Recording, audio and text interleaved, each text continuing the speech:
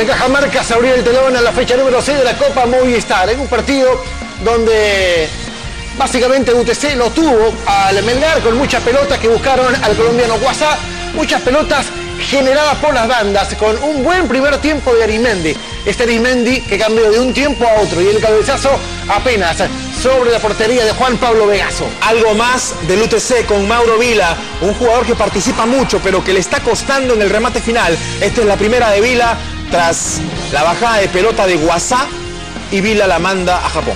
Buen control, orienta bien en la pelota, pero si algo que no ha tenido vida en el partido es gol. Aquí está la, la jugada fatal en el fondo, casi la última del primer tiempo, ¿no?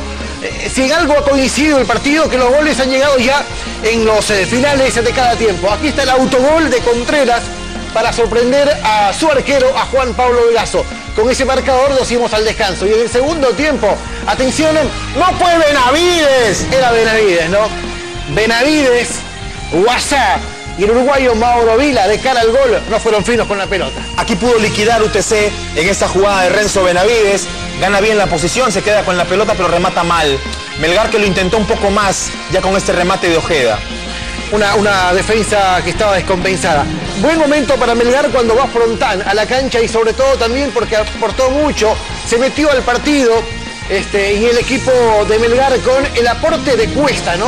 Para estar siempre en el área, para pisar el área, para buscar el espacio y esta vez en un remate eh, fuera. Atención al momento de, del gol porque quien recoge el balón es Cuesta, el rioplatense.